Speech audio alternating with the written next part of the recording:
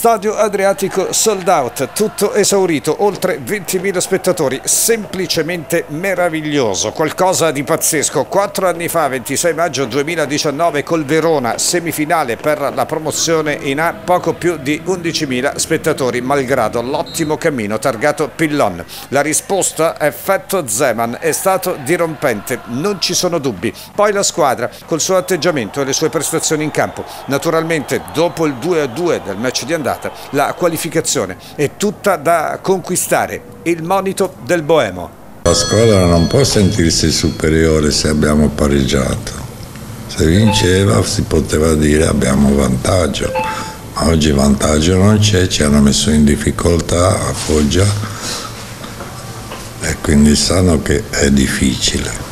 Ora il ritorno davanti a 20.000 cuori biancazzurri. In caso di parità al novantesimo con qualsiasi risultato, i gol in trasferta non valgono doppio, supplementari e eventualmente calci di rigore. Tornano a disposizione Brosco, Palmiero e Milani. Imbarazzo della scelta, tutti abili. Il probabile 11, Plizzari Trepali. In difesa Cancellotti, Brosco, Mesic e Milani. A centrocampo Rafia, Palmiero e Craia. In attacco l'ex Merola e delle Monache. A supporto di Facundo Facundo Lescano. Di fatto la formazione tipo, comunque quella schierata nelle partite che hanno preceduto la sfida dello Zaccheria. Foggia privo degli squalificati Contec e Di Noia, altresì fuori Nobile, Beretta e Oger. In compenso Rossi ha recuperato Frigerio che però potrebbe partire dalla panchina.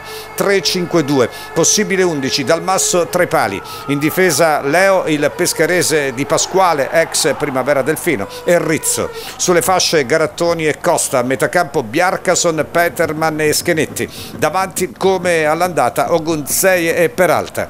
Tanti i precedenti all'Adriatico, l'ultimo a fine gennaio. Autentica debacle biancazzurra. 0 a 4 con i gol di Ogunzeie, il solito Schenetti doppietta, bestia nera del Pescara, e Beretta. Negli anni tante le vittorie del Pescara. In B 15 ottobre 1989 l'11 di Reia si impone 2-1 sul Foggia di Zeman. Marcatori il compianto Bruno, Gasperini e Barone. 13 gennaio 1991, Satanelli battuti 2-0 nel primo tempo, gioiello balistico di Alvise Zago. Mannini sventa questo colpo di testa di Bucaro, oggi vice di Zeman. Nella ripresa il raddoppio, protagonista Fioretti, assolo di grandissima qualità, compreso il diagonale, che infila il compianto Franco Mancini.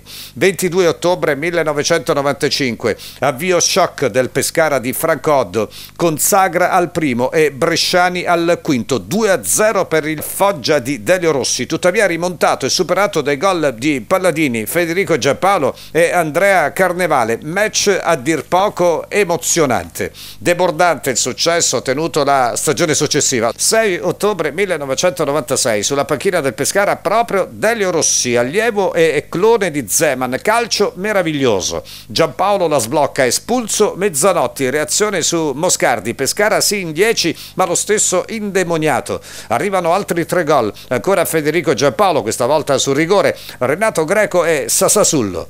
8 marzo 1998 il Pescara di Adriano Buffoni si impone di misura 1-0. Lancio di Moretti, assist sponda di Ottavio Palladini, rete di Fabrizio Cammarata.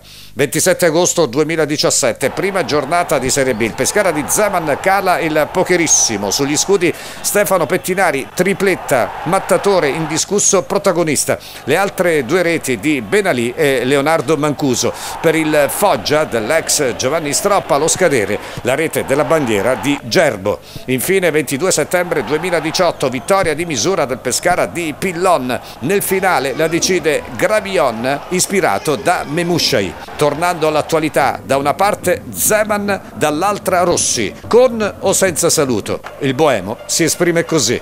Io ci ho ripensato un po', visto che sono più grande, spetterebbe a qualcun altro.